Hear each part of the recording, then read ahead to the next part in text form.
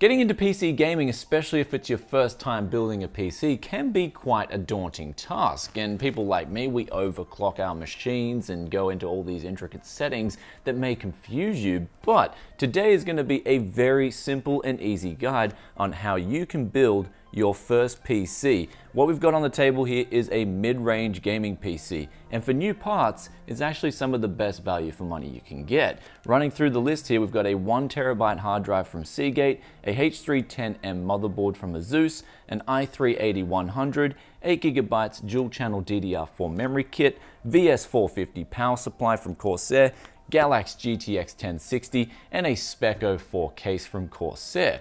And now not only in today's guide will I take you through a step-by-step -step process on how you can build your PC, I'll also post time links in the description below for each step in the way. And on top of that, I will show you how you can get a cheap Windows 10 key and install that on today's machine too, thanks to today's video sponsor, SCD Keys. So what are we waiting for? Let's build this thing.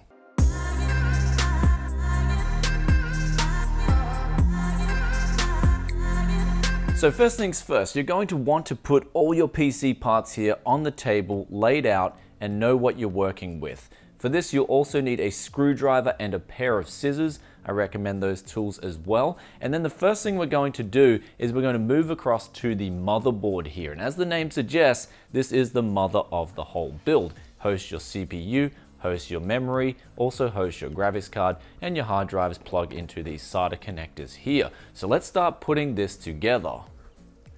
So the first thing we're going to do is put the CPU in. So we just get this lever here, push it down, and then pull to your right. And then it should come up like that. And so we get our CPU from the package here, and we just install that in the socket. So we have to be very careful. So we put it in like that. There should be little dimples on the side of the CPU and also an arrow to indicate where it goes in correctly. And after we've done that, we can then push the lever down and make sure it's under this little screw here. And then we can push this side lever down with our right hand. And this plastic clip should pop off as well. So now it's time to install our CPU cooler. So all we do for this is line up the little four holes here with the motherboard and then we push diagonally down and diagonally down again. And so now our CPU cooler is installed and all we have to do too is then now plug this four pin connector to the top of the motherboard like that. And we don't have to worry about any thermal paste because this cooler actually has thermal paste already pre-applied. And now it's time to install our DDR4 system memory. So we just grab these two clips on the DIMM slots here, push them outwards, and then grab the memory, and then simply match that up like that and push it in on both of the edges and do the exact same thing for your next stick of memory. Bang, done. It's time to prep the build as I call it. So we're going to take this side panel off here on our Corsair case and then we're going to install our power supply and also our SSD and hard drives too. So now installing the power supply first, we simply have the orientation like this, where since there is breathable space in the bottom of the case, we have the fan facing down. And so here we just put it in like that, and then we can simply just screw it off to the rear here.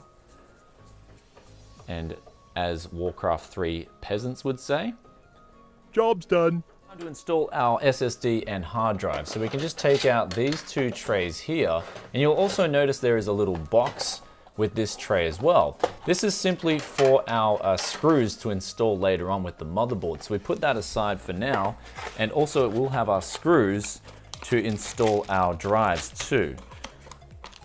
So first off here we have the hard drive, and this doesn't generally need any screws. All we do is we line up these three little holes here with the side of the hard drive and we install it like so. And that's all you have to do. And then you can put that back in the system. And then we can get on now to our SSD.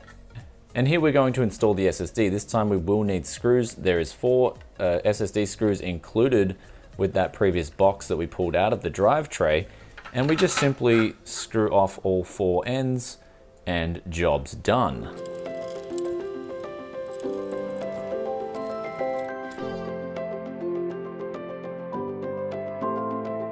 Going to install the motherboard and also the input output shield. So that's that little metal shield that's included with the motherboard. So we want to simply put it in here from the inside of the case and just push that on all four corners until it's clicked in. Next step here is to install the motherboard and we simply place it down over the uh, alignment of screws and also underneath our IO shield, just like that. And now it's time to screw it in and the screws for this will be the motherboard screws included with the box and I'll quickly show them on camera for you so you know which screws they are. And then we just simply screw off the motherboard into the case.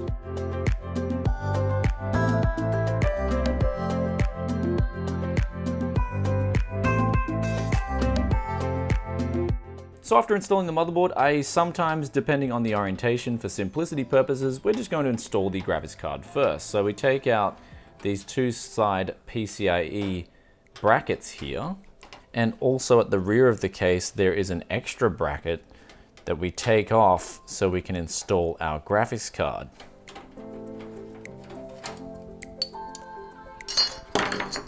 Now with the graphics card, we can install it in the top PCIe slot here. So we line that up like so. And that should click in place and slot in. Then after that, we now screw the graphics card back into the side slot here with the two screws they're already used to take off the PCIe protection brackets. So now that we've completed the most difficult part of building the PC, it's time to hook up all these cables, all the front panel cables, and also the hard drives to everywhere they need to go. So the first thing I like to do is remove the rear panel. So now there should be two SATA cables included with your motherboard box. So we want to actually hook these up to the drives themselves, just like that. There should be two SATA connection points and then simply route them through the rear hole here in the case. So now once you've routed them through, you can simply plug them into the motherboard like so. And now we can work on getting our front cables, which is this right here, installed to the motherboard as well.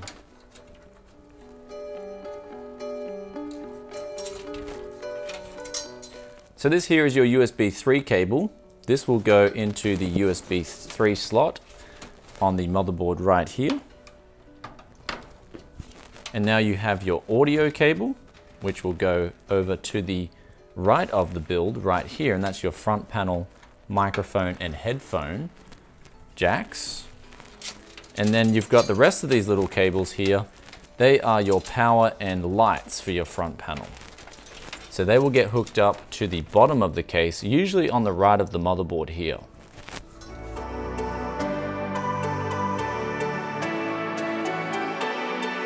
After installing the data cables, it's time to route our power cables to the rear of the case. And then we're going to do also a little bit of cable management in this build too, since we do get four included zip ties. So untangle all your cables like so. And we will need our 24 pin motherboard connector. And we just pull that through the underneath here on the bottom hole. And also our CPU 8 pin. We can pull that through the rear of the case like so. And then do the same for a 6 pin PCIe VGA connector, which will be this one here.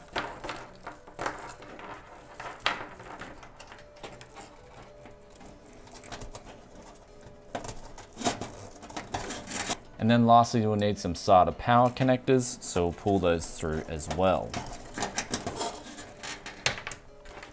Start routing these power cables each to where they need to go. Our SATA cables will simply plug in the rear of our hard drives like so. And then that is now finished. And also while we're here, we can quickly zip tie off these cables that we won't need and also insert them like so. So we've also done a little bit of cable management to make things look a little bit cleaner. And while we're at it, since there is our front panel fan connector here, we'll also untie that and route that through the bottom of the case where our SATA cables came through too. Now our next step is to route through the motherboard connector here. So that'll go in the middle slot like so. And also while we're at it, we can route through our PCIe connection, which will go in the one just below that. And also our CPU 8 pin connector, which can go through the top here. At the front of the case, we can start plugging in the cables to where they need to go. 24 pin will go on the right of the motherboard here, and you just simply line that up. Now we've got the PCIe connection here. That'll just go, since it's a six pin, we only need the six pin portion of it. We can then just simply plug that in like so. So now the top of the case, since we only need a four pin connection up here, we can then separate the four pin and plug that in here like so. Now the final cable to hook up is the fan on the front panel and since there's only two fan headers on this motherboard, we actually have to uninstall the front top fan header here and put the front panel fan to this header up here, like so and then reroute this one to the back right header here, like that. Now the build technically is complete. We could fire this up and everything should boot absolutely fine. However, you notice that all these cables are really messy and they're really ugly. So since we do have three zip ties left, we'll now just clean up the cables on both the front of the case and on the rear of the case in a couple of minutes.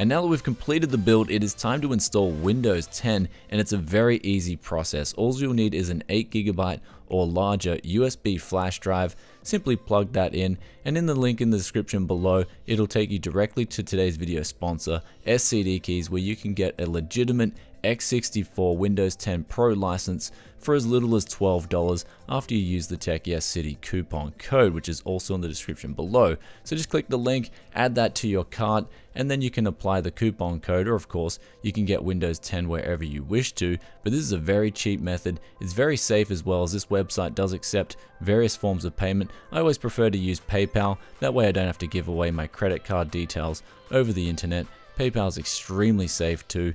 And so after you've done this, you can buy the key and it'll give it to you and you can go to the Windows 10 website, enter the key, and then you can create with our USB flash drive a bootable Windows 10 Pro, which we can then, after we've created this disk, insert into the new PC, simply boot it up, and then it'll launch into the Windows installation, and we insert that key that we used from SCD keys, put that in, and we're now ready to install Windows and we're good to go. Now that Windows 10 is finally installed, it is time to start playing games, but of course I do recommend going to Nvidia's website if you're using a GTX 1060 like I did today, getting the latest graphics card drivers, and also if you have time, I do recommend optimizing Windows to make it that little bit faster. I do have an optimization guide, which I'll put the link in the description below, or I'll put a little link up here that you can click in the video itself. And after all is said and done, it is now time for you to start playing games on your brand new PC. I hope you enjoy the PC gaming experience. And that's pretty much it when it comes to building a PC. It really is that simple. It's not that difficult of a task. Though if you do have any questions or comments, then be sure to drop a comment in the comments section below. And also if you enjoyed this tutorial, then be sure to hit that like button too. But what we got here now is a very quiet gaming PC that uses under 40 watts idle on the desktop. Also when we're playing titles, it was going up to 190 watts usage in Project Cars 2, which is a very demanding title, but also shows you how efficient this build is here too. So if you want to build something similar to this, then I'll put the links in the description for all the parts that I used. And also if you want to get a cheap Windows 10 Pro CD key, 64-bit, then I'll put the link in the description below for that too. You can get a discount if you use the Tech Yes City coupon code too. And with that said, I'll catch you guys in another tech video very soon. Peace out for now. Bye. And that should click in place and slot in.